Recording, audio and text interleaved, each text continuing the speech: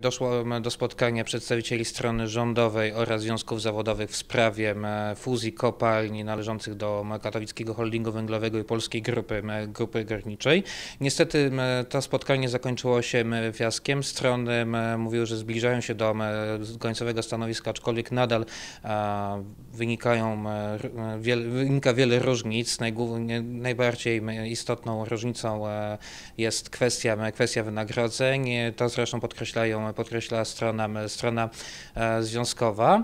E, I co jest istotne, kluczowe dla przyszłości fuzji PGG i KHW jest właśnie, właśnie efekt, pozytywny efekt rozmów ze stroną społeczną, co zresztą podkreśla, podkreśla Ministerstwo Energii. W stronie rządowej bardzo, bardzo potrzebne są szybkie, szybkie działania, bo fizycznie brakuje im czasu. E, pozytywne rozstrzygnięcie rozmów ze stroną społeczną społeczną e, spowoduje e, rozpoczęcie rozmów o, problem, o problemach związanych z zadłużeniem KHW.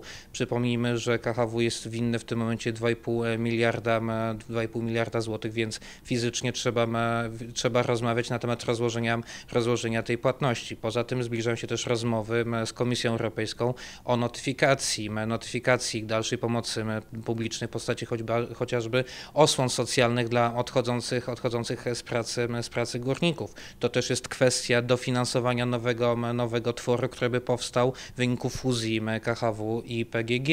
E, resort Energii zakłada, że jeszcze ten nowy podmiot miałby być dokapitalizowany kwotą miliarda 100 milionów, 100 milionów złotych. 700 milionów z tej kwoty miałoby zapewnić e, e, trzy, trzy, trzy spółki, a mianowicie jest to Węglokoks, Enea oraz Towarzystwo Finansowe Silesia.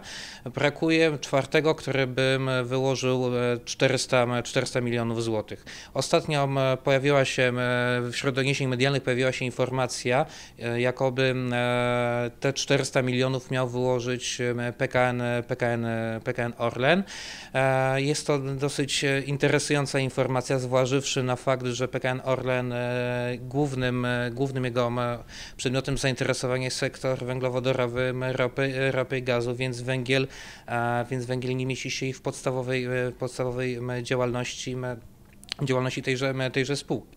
Też warto, warto wspomnieć, że według zapowiedzi Ministerstwa Energii w przeciągu pięciu lat e, właśnie połączenie, e, fuzja PGG i KHW miałaby wejść, wejść na giełdę.